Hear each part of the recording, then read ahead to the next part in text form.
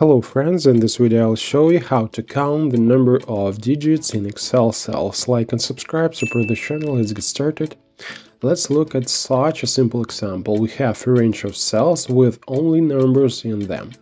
The length function is perfect for solving this problem. This function returns the length of a text string in a cell as a numeric value. We enter the function into the cell and select the cell in which we will count the characters. Press enter, pull the formula down and the function counts all the numbers inside the cells. It would seem that everything is fine, but if there is text in the cell, other characters, commas, dots, brackets, or for example there is a fractional number in a cell, then in such conditions length function will count not only the numbers, but also all the characters that are in the cell and we only need numbers.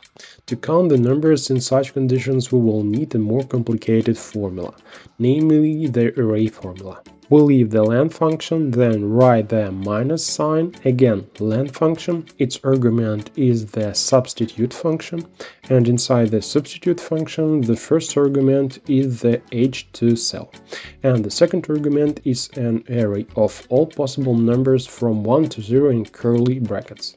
The third argument is nothing in quotes. Close the brackets and all possible results are summed up by the sum function. That's what we got. Let's take an example. There are four characters in the cell.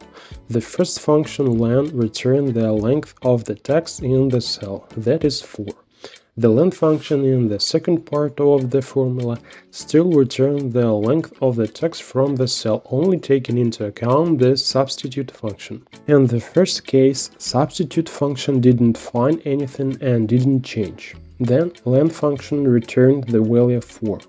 In the second case, the len function found the number 7 and replaced it with a nothing, which means that len function will return the value 3, since there is one less character in the cell. And since we have an array formula, we get four equations, the results of which we add up and get the total number of numbers in the cell, despite the other characters in the cell. We pull the formula down and as you can see, it counts the number of digits in the cells perfectly. That's all, now you know a little more, thanks for watching.